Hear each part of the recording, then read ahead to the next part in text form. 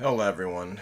Now that you've all been at least somewhat introduced to your calculator, I'm going to kind of fill you in that the calculator is not the end, but it's only the tool. So we'll be using the calculator to do things that we'll also be doing sometimes by hand, as is depicted here.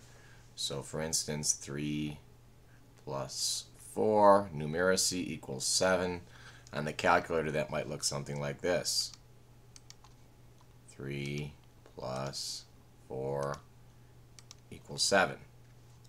We'll also point out that down here in GeoGebra, you can do the same type of thing. As I'm introducing to these three, you can say A equals 3,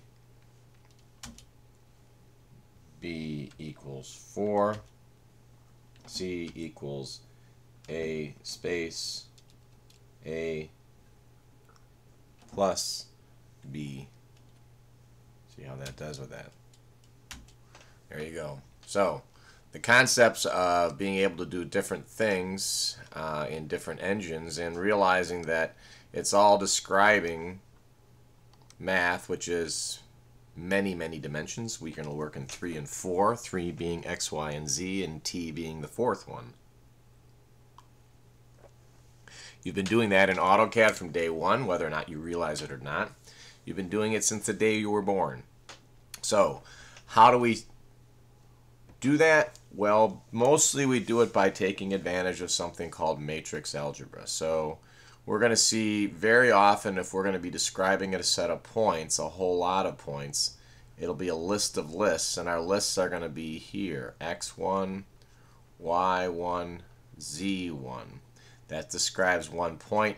Sometimes this would be T1, but very often we're going to see when we're trying to do transformations, we're going to just add a 1 filler. X2, Y2, Z2. That's the second point. X3, Y3, Z3. Again, the filler, dot, dot, dot, X sub n, Y sub n, Z sub n, and 1. And what these would describe, if you would, would be points. Perhaps that would be x1, point 1, point 2, and point 3.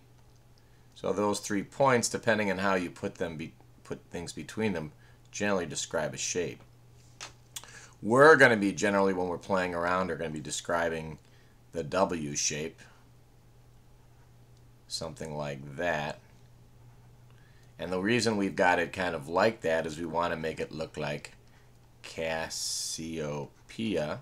So we can realize that Cassiopeia rotates around the North Star, which is someplace way up there, every 24 plus hours.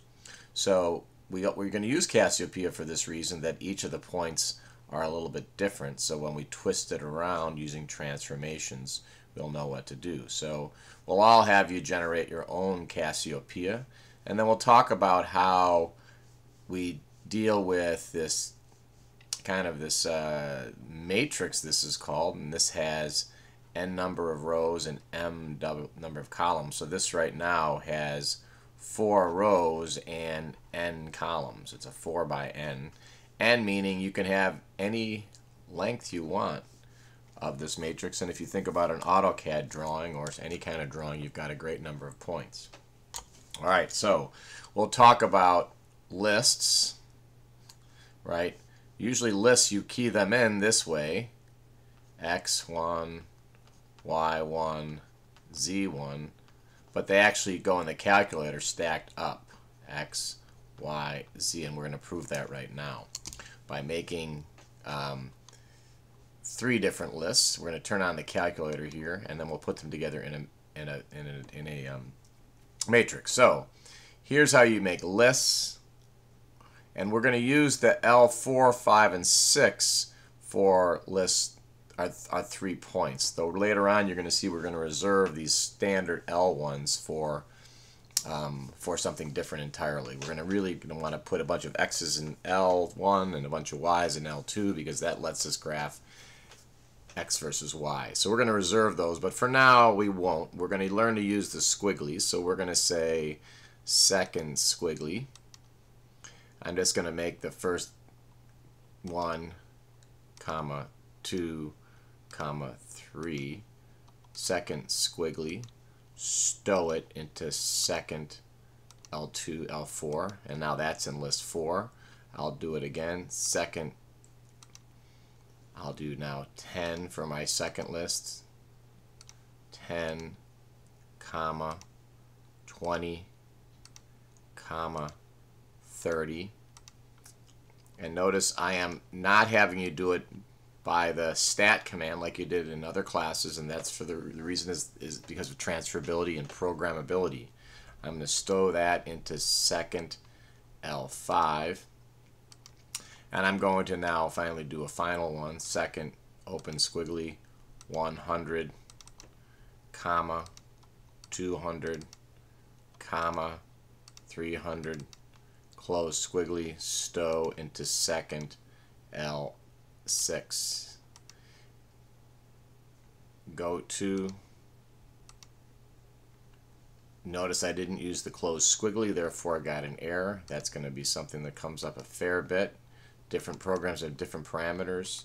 So now we've got something at L1, I'm sorry, L4, L5, and L6. Remember these little L's in the front mean typically it's a small, it's a list, and you can't just type L, you've got to do the pull down.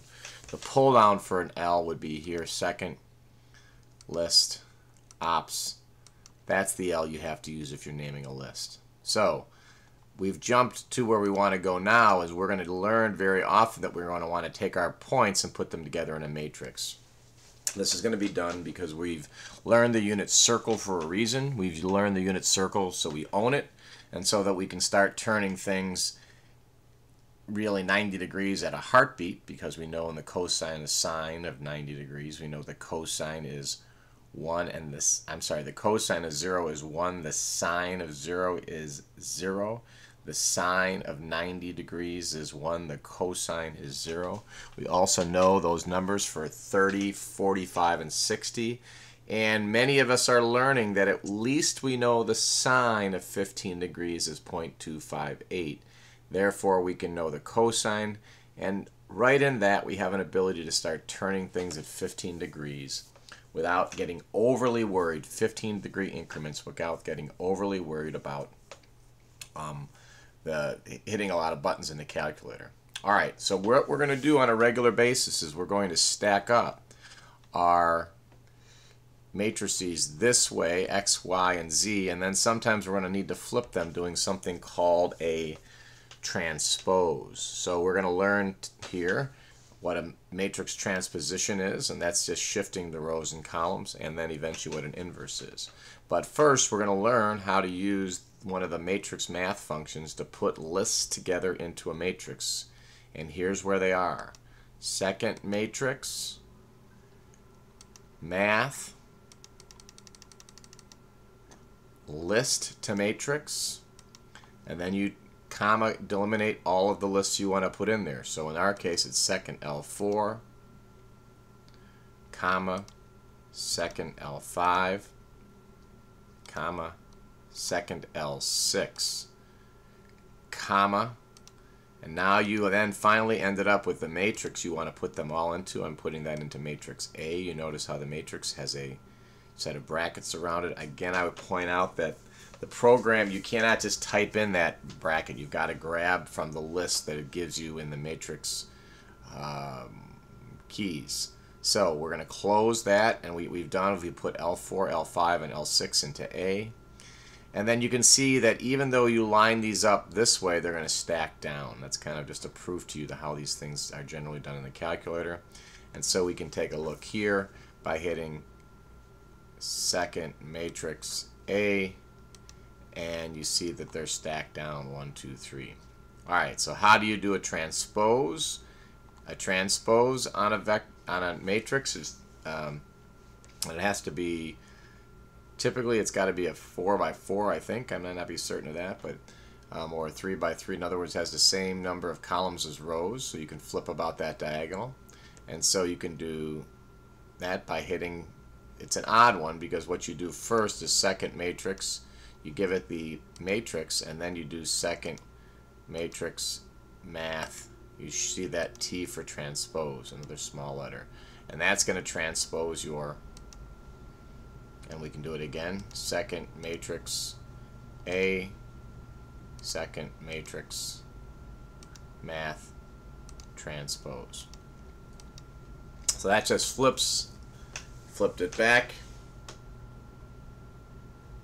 Oh, we never flipped it, so that does a transpose. So I actually haven't stored it. Very often you may be doing this, which is second matrix A, second matrix transpose, and then storing it right on back into A. So you've transposed it and stored it on back on top of itself. Second matrix A. It's a typical programming technique. Now you see it's transposed and now you can do it again. Flip it back. Because if I now say second matrix A, there it is. And now I can do second matrix A, second matrix math transpose, store it into second matrix A, and everything is back the way it started. That's just an unusual because the order operations on the calculator punch we will be looking at doing inverses in a number of different formats. We'll be looking down in GeoGebra, in Wolfram Alpha for sure, in the Excel engine when you're done with that, and then Google's spreadsheet document. And I will point out that Google spreadsheet document deals a little bit better with these matrices through a little less, they've got a little bit less of a gilding or a wall there. Um, because matrices, I think Google knows that they are not something to be shied away from. They're something that should be followed up on from the time they're first introduced back uh, in, in, the elementary grades. For some reason, we drop off on those. We call them spreadsheets. We don't call them matrices. Um, we should be because of the movie they called The Matrix. But that said, any matrix that's a 3 by 3 then has an inverse. Remember, the inverse is the number, the definition of inverse is the number that you multiply a number, another number by to get 1. And so what I'm going to do now is I'm going to take the inverse of A and put it in B right now. I'm going to take the second matrix A inverse and store it into second matrix B. And you'll see it's a very singular matrix. Ah, interesting. Because of the way this is set up, that's an odd matrix, and so it does it has a singular matrix, so it's a bit of an error. Quit. So I'm going to go into just now for demonstration to finish out my 15 minutes to go into second. Edit A, and I'm going to change a couple of numbers here. Go down here and change that to 2. And I'm going to take that to 36. And I'm going to change that to 36. And now I'm going to hit that there. This should be now relatively second quit.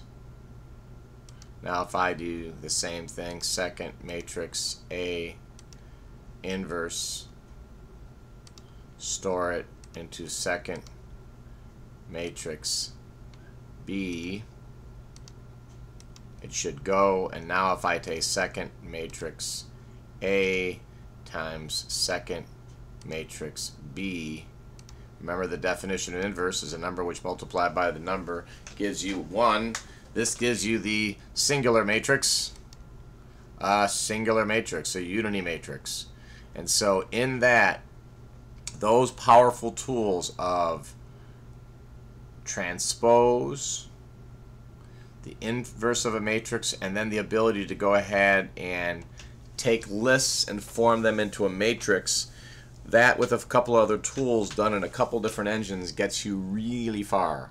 I'm going to point out a couple things before we end up at the last 15 minutes. Many programs take a space or nothing as a multiplication.